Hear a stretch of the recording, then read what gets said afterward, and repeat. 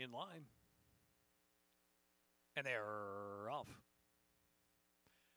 I dream of Lois.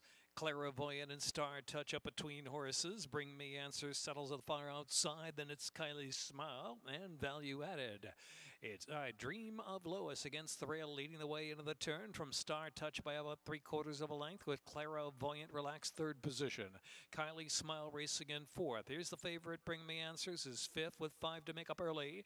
And value added is the last runner with six furlongs left to go. And it's I Dream of Lois on the money going a length from Star touch and Clairvoyant still cruising outside and Kylie Smile is fourth. Bring me answers and value added, not a lot of change as they chase the pace of I Dream of Lois, who's gone a sharp pace of the distance out there. I Dream of Lois still in front from Star Touch by a length and a half. Clairvoyant is next, then value added, splitting rivals to fourth, and it's Kylie Smile. Bring me answers. Ridden along his last position now has six to make up it around the far turn.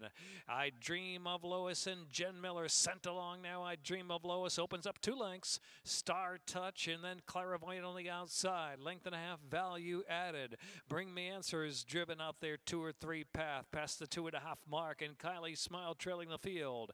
With a quarter to go at Pimlico, it's I Dream of Lois who's led every step and still strong under right-handed pressure. Star Touch is second. Center track is Clairvoyant in third. And then value added and I Dream of Lois still in front with a three-length lead and a furlong left left to go. I Dream of Lois, a little tired, but just hanging on from Clairvoyant second. Value added, trying to punch through with a shot now from third. I Dream of Lois, just holding on. I Dream of Lois all the way under Jen Miller. Value added was second, and Clairvoyant and Star Touch.